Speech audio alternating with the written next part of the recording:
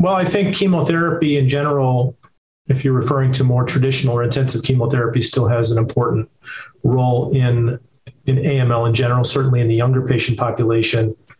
um, chemotherapy remains induction chemotherapy remains the standard of care for most patients, and the combination of of standard chemotherapy with uh, more targeted agents such as uh, FLT3 inhibitors or uh, perhaps gemtuzumab um, is, you know, I believe has clearly demonstrated uh, clinical benefit for patients receiving uh, those types of drugs in the appropriate setting. I think in the older age population, we're, we're seeing more of a shift uh, towards treatment,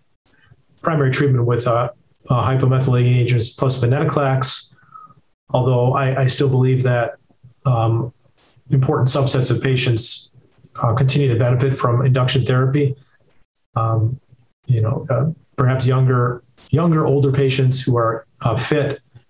uh, and are transplant candidates, I feel, are still very appropriate treatment candidates for induction therapy. And we know that, for example, with CPX 351, um, that there's potentially a very effective bridge to a uh, to a curative transplant in many of these patients. So, um, and in addition to the fact that uh, maintenance therapy with with oral azacitidine um, has gained approval,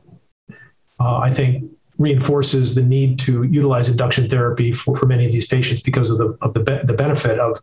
uh, oral azacitidine maintenance therapy in in certain patients.